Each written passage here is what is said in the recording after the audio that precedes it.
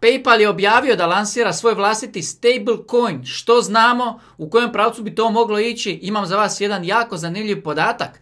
Kad je PayPal u pitanju, tako da od srca vas pozivam, ostanite ovu minuticu, dvije vremena. Prva stvar, glavna stvar, sedmi kolovoza 2023. godine. PayPal objavljuje znači da idu u pravcu lansiranja svog vlastitog stablecoina. PayPal USD, e, skraćeno će biti ticker, znači PYUSD. To će biti njihov stablecoin. Naravno, odmah vijest je odjeknula u cijeloj zajednici. Od, e, ali ovo mi je zanimljiva stvar, odmah se nakačio Justin Sun, legenda moja, ovaj, malo da skrene, da skrene pozornost, jer sada je njegova mjenjačnica Huobi malo na udaru, ljudi povlače sredstva, svi su u nekoj panici, on kaže da je to sve fad i tako dalje, međutim on je odmah to iskoristio malo za privlačenje pozornosti.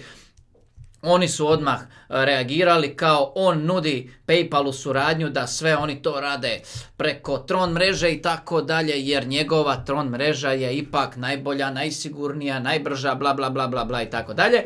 Uglavnom on je tu odmah išao iskoristiti trenutak. Isto tako i Litecoin odmah je iskoristio malo da se naprave marketinga, da se pohvale da su oni među one četiri kriptovalute koje su tamo jedine u ovom trenutku navedene koje se mogu znači e, svopati za PIUSD za taj novi stablecoin, tako da Litecoin je jedan od tih i naravno da su odmah iskoristili trenutak. Međutim, međutim, međutim, najbolji podatak, barem po meni najbolji podatak e, onako u ovom trenutku na koji treba obratiti pozornost kad je PayPal u pitanju i njihov ulazak u ovu priču sa stablecoinovima i tako dalje.